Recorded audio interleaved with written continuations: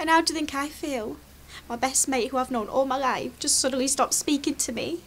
And John, well, what's going on?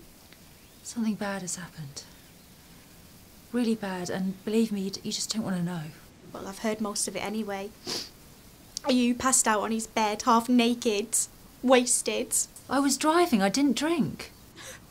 I've had witnesses saying otherwise. I lay down with a headache. I wasn't drunk. Well, that just makes it worse then, doesn't it? Was the door locked? He locked the door, yeah. You know, Lizzie said that there were people outside the room laughing and whistling. Sarah, this is killing me. Wine? Would you like a glass of wine? Yes, wine. I like wine. Uh huh. me too. Ah, then let's drink. Yes, let's drink and drink and drink. Let's drink until we collapse on the bed. Yes, and then, well, who knows? Yeah. Anything could happen, couldn't it?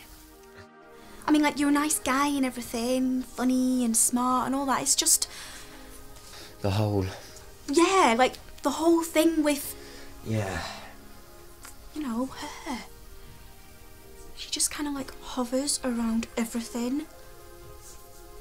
God, she's like this unspoken. Spectre. Yeah.